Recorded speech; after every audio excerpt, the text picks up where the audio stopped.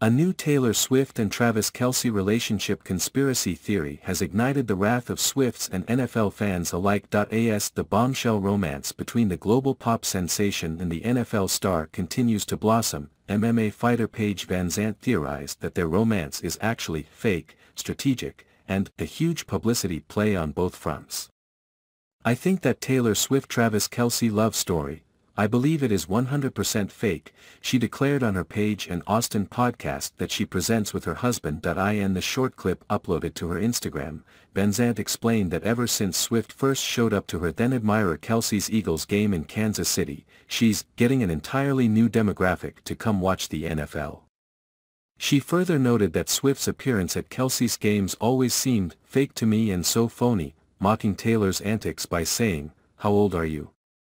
Likewise, she also suggested that the strategic move was good for Taylor Swift, who has just taken a break from her ongoing Eras tour. Come for me, Swifties, she further egged on. You know what? I've got UFC fans coming for me. I think I can handle the Swifties. And she got exactly what she asked for as both Swifties and NFL stars flooded the comment section of VanZant's Instagram post. Seems like you are the one looking for publicity, wrote one user. Bad take, NFL doesn't need Taylor Swift, she's not relevant to our demographic, an NFL fan fired back.